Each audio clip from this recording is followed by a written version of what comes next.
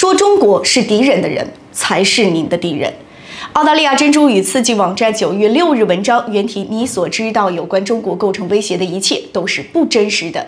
副题：杰瑞·格雷致英国外交发展大臣詹姆斯·克莱弗利的一封公开信。亲爱的克莱弗利先生，很高兴看到您对中国的访问很顺利，但我对您离开的姿态感到失望。我最不希望看到的是英国做得不好。我也将带着一些可能会让您不安的信息进入这次对话，因为这些信息与您的信息完全矛盾。显然，英国驻华大使馆或领事馆的任何人都没去过新疆，也没从现场为您提供任何报告。我真诚希望您是被误导了，而非故意参与这场骗局。我的名字是杰瑞·格雷，在英国出生的澳大利亚公民。过去二十年来，一直是中国广东中山市的居民。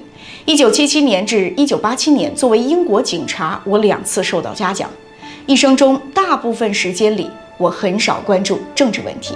二零二零年疫情期间，我出于无聊，在当时的推特，也就是现在的 X 平台，发布在华旅行的照片和故事。这个决定很大程度上改变了我的生活。我在网上基于个人观察和经历说的几乎每一句话，都会招致像您对中国进行的那种批评。让我在中国的外籍人士社区中与众不同的是，我在中国骑行三万多公里，并接触普通民众。我和妻子看到农村乡镇层面取得的进展，为目睹中国农村发生重大转变的人都无法理解此类成就。正是这种经历，也使我成为中国及其执政党的坚定支持者。我从未见过比中国更强调协作和协商的治理方式。能让民众参与治理并从中受益，这是西方民主支持者无法想象的。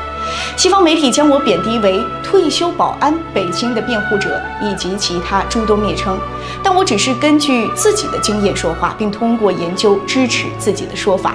二零一四年，我第一次骑自行车在新疆旅行。那次旅行中没看到任何压迫迹象，但我们每天都与维吾尔族人、哈萨克族人、蒙古族人、塔吉克族人和柯尔克孜族人见面、交往和互动。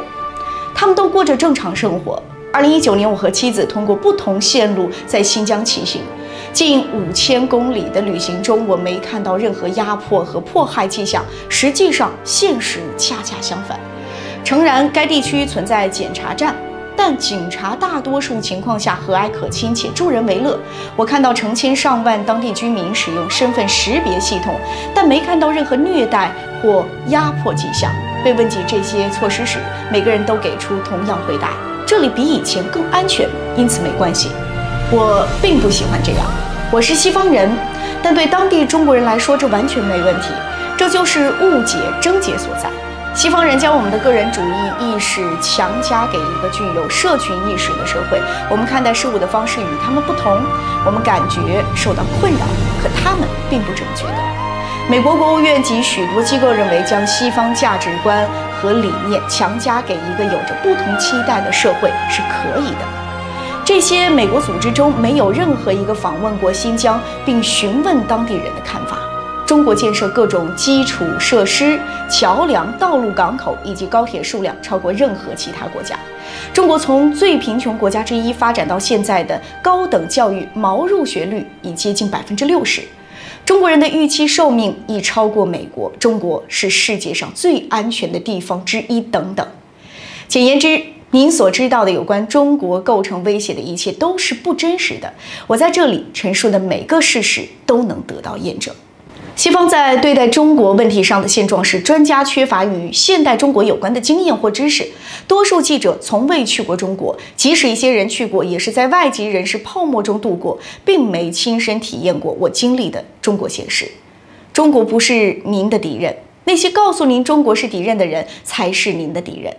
来自中国中山市的最良好祝愿，我期待收到您或办公室的回信。杰瑞·格雷。